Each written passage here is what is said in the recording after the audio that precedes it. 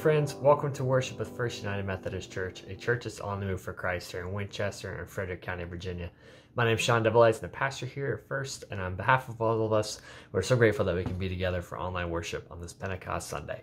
Uh, a couple things you should know. First, we're pre-recorded, so you'll see us in different times, different outfits throughout the service, but it's a great way for you to know what our in-person worship service is like, and also to see a bunch of people that make up the life of our church. We're going to start a new series today called Love Does. It's based on a book by the author Bob Goff, and we're hearing about the way God is with us and how God's love is experienced by the way we're with each other. So throughout the service, now you can like, comment, or share whether you're with us on Facebook or YouTube. Let us know where you're worshiping from, any prayer requests you might have. Uh, it's a great way to see how the Spirit brings us all together. With that, again, we are excited to be together and excited to worship. Let's worship together.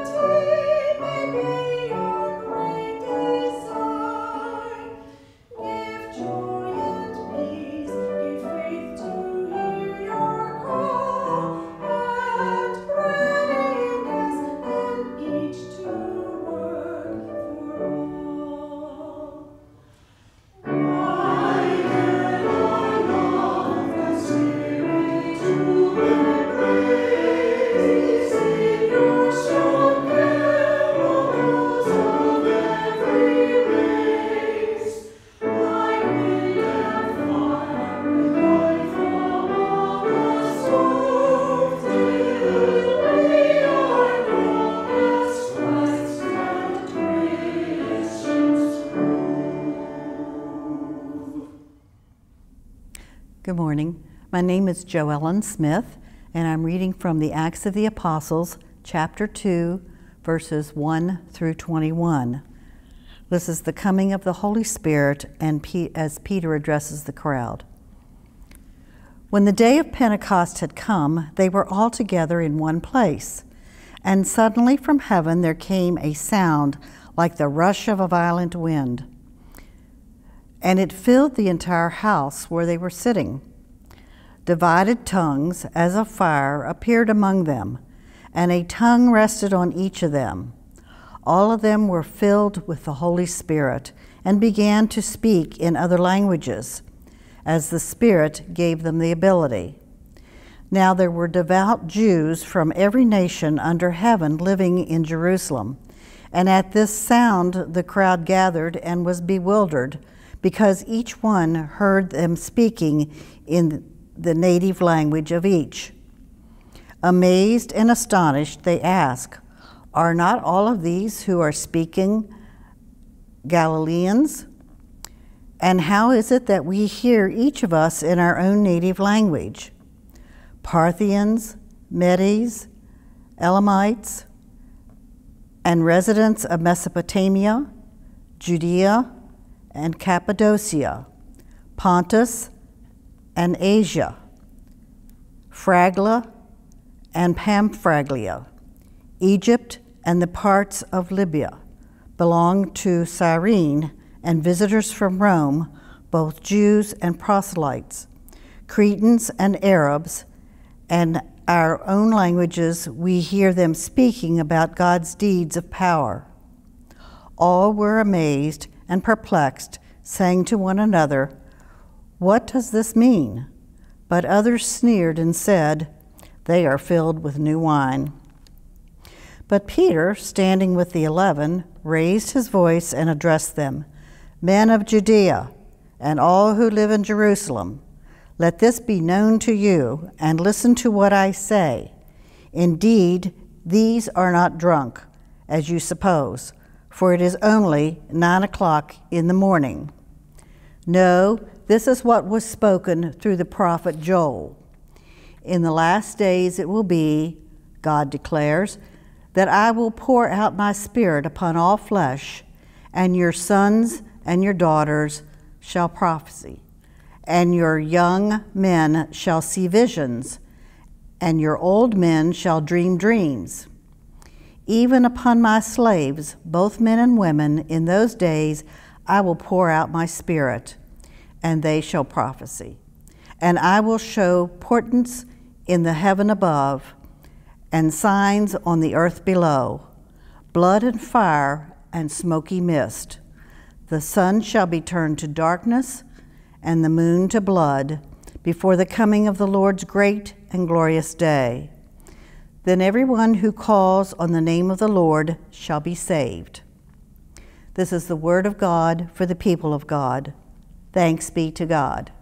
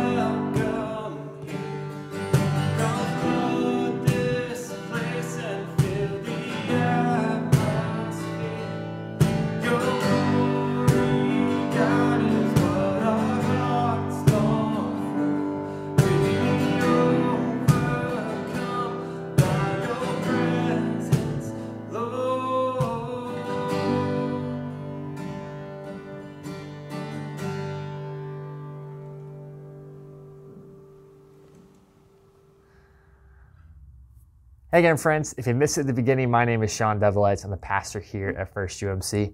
And today, on this Pentecost Sunday, we get to begin a new worship series that's called Love Does, and it's based on a book by the author Bob Goff. And we're doing this because in the church world, we often hear of God's love, and sometimes it feels like it's this ness that's just out there. And so, over these next couple weeks, we're talking about ways that we can express, that we can live into, that we can do things that share God's love with each other and with ourselves. And this week we're focusing on this idea called being together, this presence, this abiding nature of God, the way God abides and lives and stays with us, and the ways that we can stick with one another as well, and have that be the first and foremost way that we're willing to share God's love with somebody else. You pray with me? God, we give you thanks for the ways that you bring us together. We give you thanks for the opportunity that we have to live together. As we're joined together in worship at this time, we celebrate this community. We also ask that you bless us because, God, we want to grow together and want to learn together, both more about you, more about ourselves, and more about each other. We love you. Amen. So many of you who have, have known me for a little while know that running is something that's become a practice in my life. It's something I like to do a lot. Uh, and it actually wasn't always that way, believe it or not.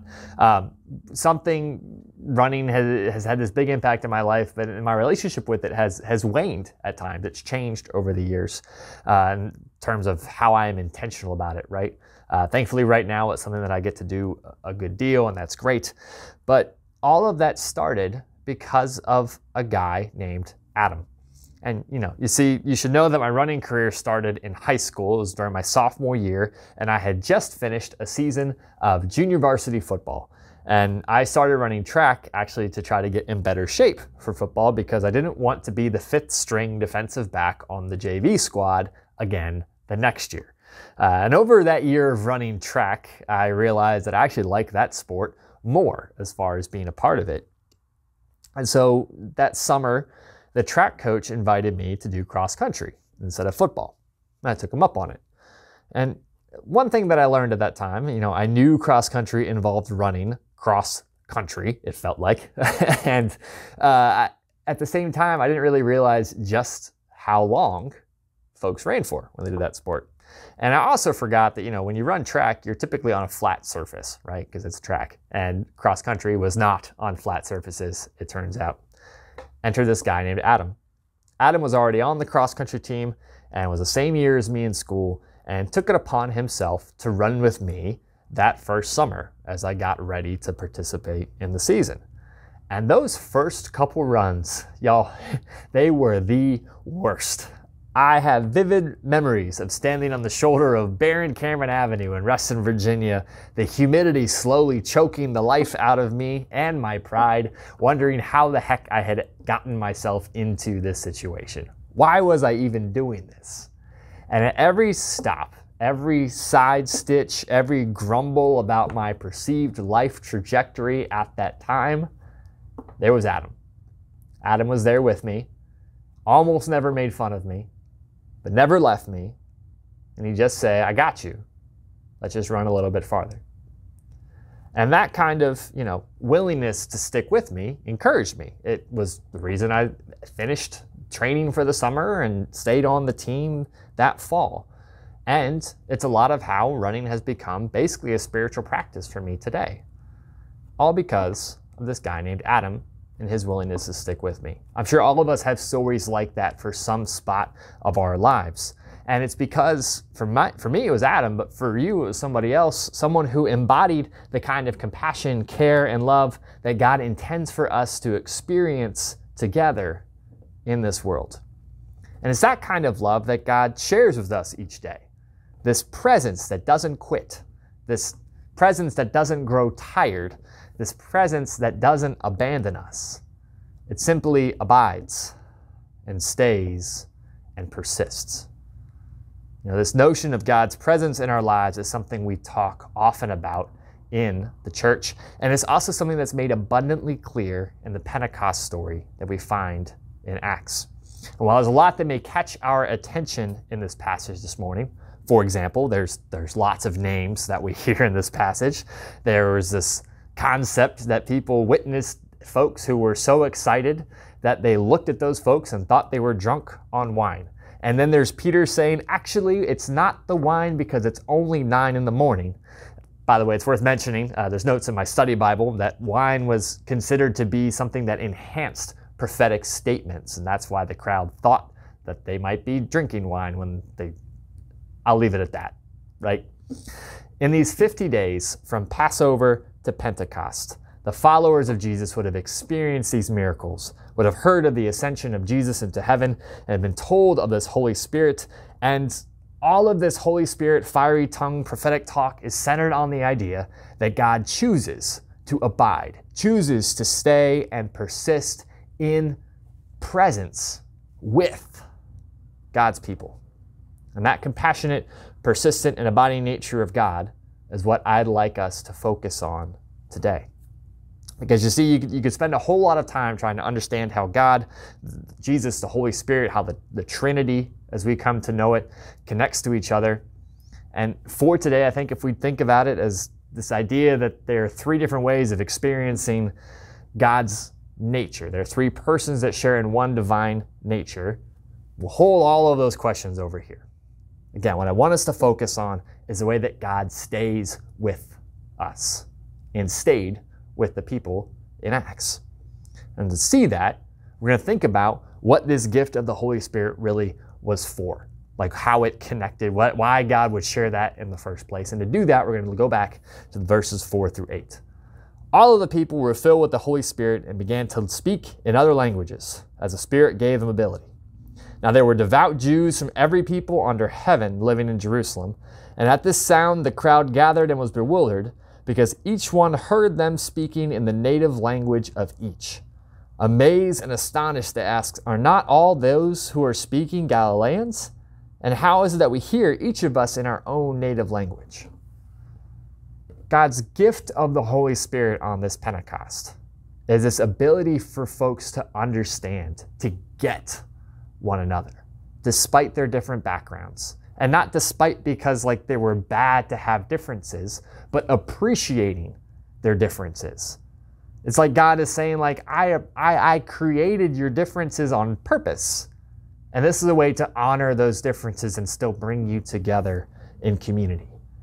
They get each other, they understand each other. All these different stories, backgrounds, what have you, all these believers are brought together in community you know, you could think of it as it's impressive that they somehow learned to understand each other's tongues, but really it's just the fact that God chose to connect them with their differences.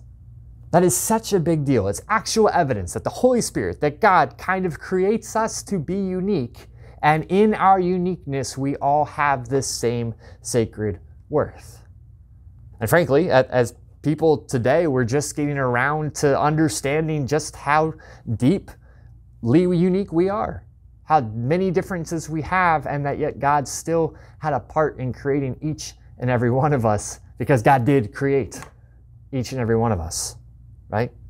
What brings us together is this willingness to care for each other, to abide with each other, to make effort to understand each other, and to persist with each other. That's a lot to take in and it, it's a lot because that willingness that's embodied in the early church, the early church that we learn about in the book of Acts, right? It's that willingness to do that that we find so frequently tested today. Think about that. It, it is possible that, well, this is the dozenth time you've celebrated Pentecost or you've never really heard of why Pentecost is a thing in the first place, that God brings people together with their differences. And that is something that is so hard to picture in our culture today. We see here in Scripture the church that our church is intended to be a community in which we care for and stick with and persist with and abide with each other. And to do that, we have to be willing to give up ourselves to that cause. We have to be willing to be vulnerable enough to, to, to open ourselves up right? To be willing to care for each other in that way. Say, yeah, the rest of the world sure feels like this constant effort of drawing lines in the sand and saying that there's some people we should care for and some we shouldn't. We also know it's not the world's fault. That's just something that's that's coming out and expressing itself probably because of who knows what. I'd venture to say it's it's from not understanding just how much that goes against what God would want for us, right? We're not intended to draw these lines. We're intended to, to understand that God asks us, shows us at Pentecost that we don't leave each other alone, that we stay with each other. That our job is to tell one another, I've got you, even when we stumble, even when we fall, when we get a side stitch in our spiritual walks or runs, that we are still willing to be there for one another. That willingness to be relationally resilient. It's something that's a gift, right? It, it comes through the grace of God. It is one of the first ways that we see love do something in our lives. Bob Goff writes in the first chapter The world can make you think that love can be picked up at a garage sale or enveloped in a Hallmark card. But the kind of love that God created and demonstrated is a costly one because it involves sacrifice and presence. It's a love that operates more like a sign language than just being spoken outright. Love does.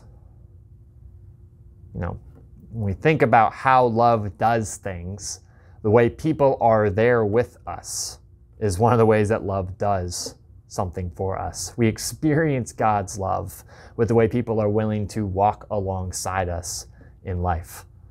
In the world of the church, we also have things like communion that celebrate this kind of love that, that's done in a certain way, that there's an action, there's a way of pointing to it and saying, I better understand how God loves me because of how we do this practice together. In the United Methodist Church, we practice an open table.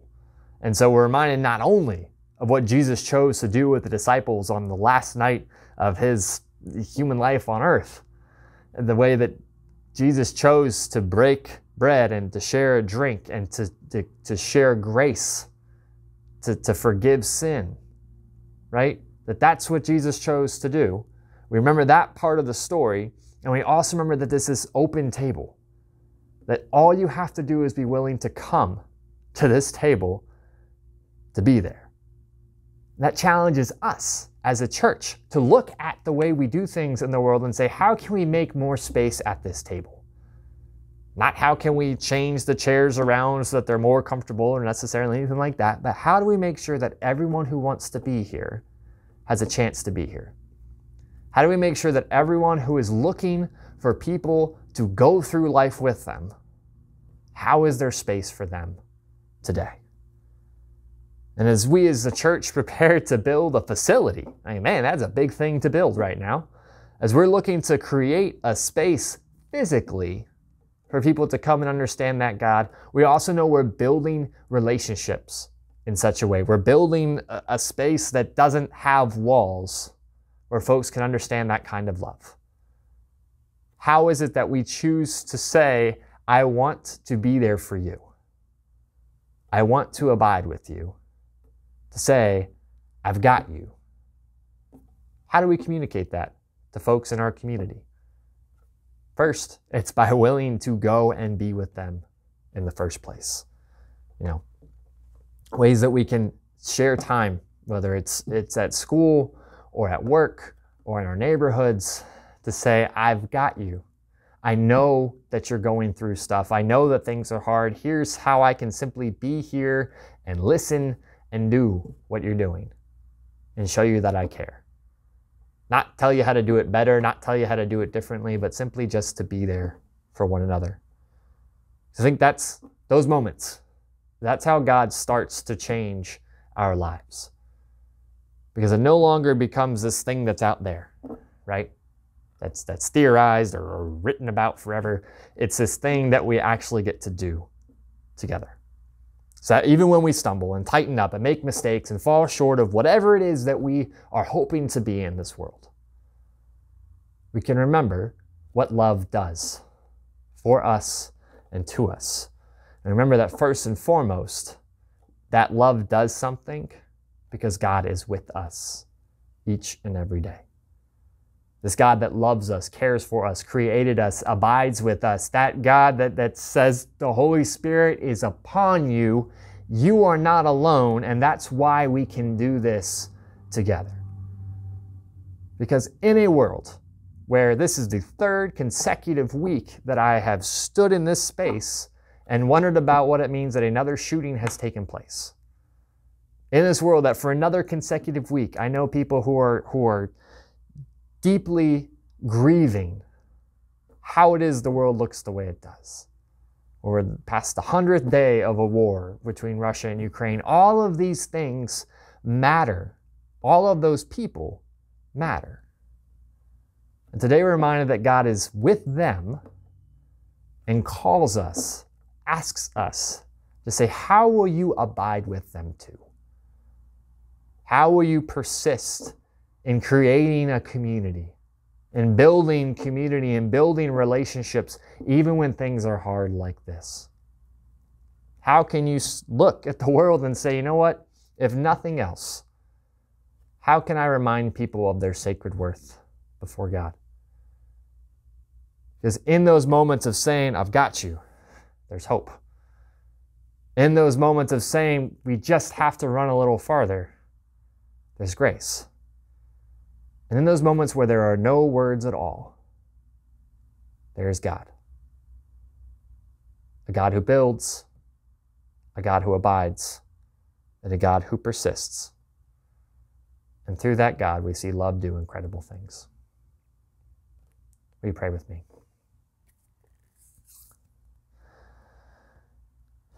God, we hear of your works in the past, and we know of your works in our life, and we know that you are continuing to do incredible things around us.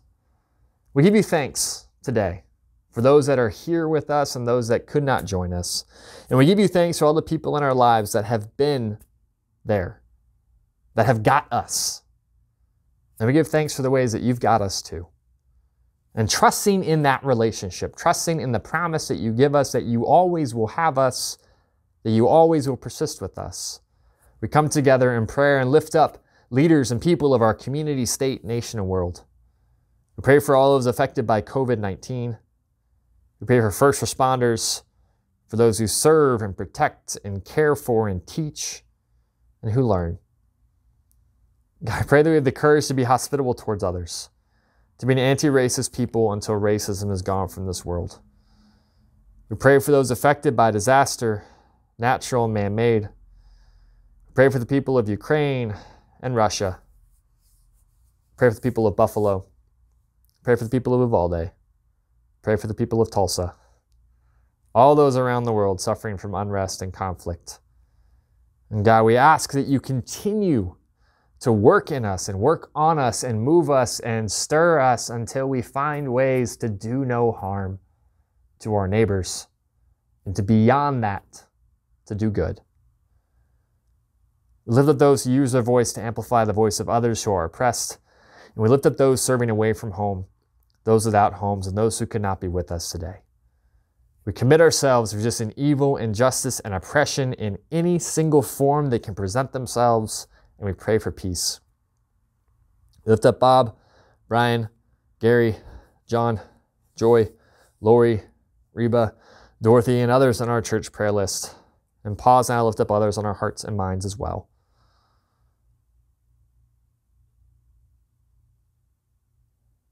God's for all these people, each and every one of these persons that we give thanks to you and ask that you continue to reveal yourself to them and to us in the ways that we do not understand.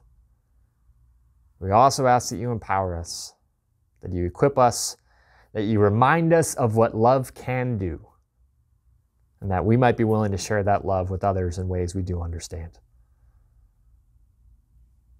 That, God, we love you. Amen. At this point in our service, we get to worship together with our offering. And there's a couple different ways you can share in your offering of what you have, your resources, your gifts, your time with us here at First UMC. You can give financially by going to our website. It's a safe and secure option on our giving page. You can also mail your offering in to the church during the week or bring it to an in person gathering. You can also give of your time. Uh, the ways that we've seen fruit of that in the last few weeks, we put together 62 hygiene kits this past weekend uh, through our mission project at church. And that's because of folks like you who are willing to invest time and resources and, and just being the hands and feet of Christ.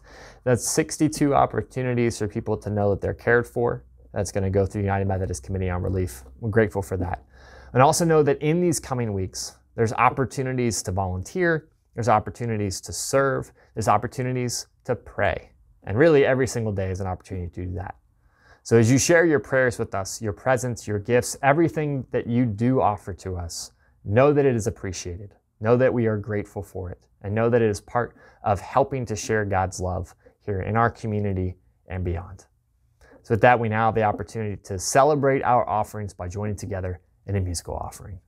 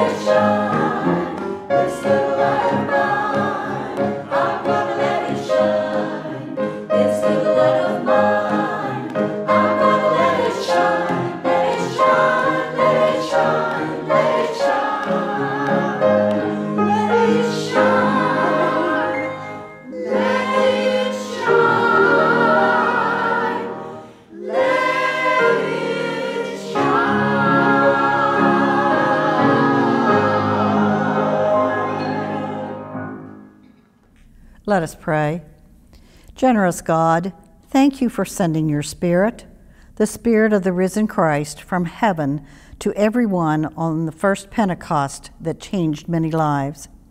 Help us to be like the early disciples, praying patiently as we wait for your guidance and power. Fill our hearts and minds with your gifts of faith, hope, and love. May our conversations with people of every language and culture around us witness to your grace and mercy. In thanksgiving for all that you have done for us, we dedicate ourselves and our offerings to your good purposes in the world. Through our church's mission and by the power of your Spirit, we bring these gifts to you now. Amen. Friends, this Sunday at First United Methodist Church is a communion Sunday. We have one once a month and communion in the United Methodist Church is a sacrament, uh, like it's also a sacrament in other denominations as well. But by sacrament, we mean it's an outward sign of an inward grace. It's something that helps us symbolize and remember something about God and something about Jesus. In this case, we're remembering the Last Supper and the fact that Christ gave himself up for us. Also, we remember that this is something that Christ told us to go and do. Do this in remembrance of me. And so, if you think about that, what it means uh, and how that connects to our growth, our spiritual maturity, remember the fact that we love and worship a compassionate God, a God who's willing to break for us, to give us life in a way. That kind of willingness, that kind of vulnerability, that kind of care is something that we are reminded of. And also reminded of how God is there for each and every one of us. There is no limit to who can come to the table.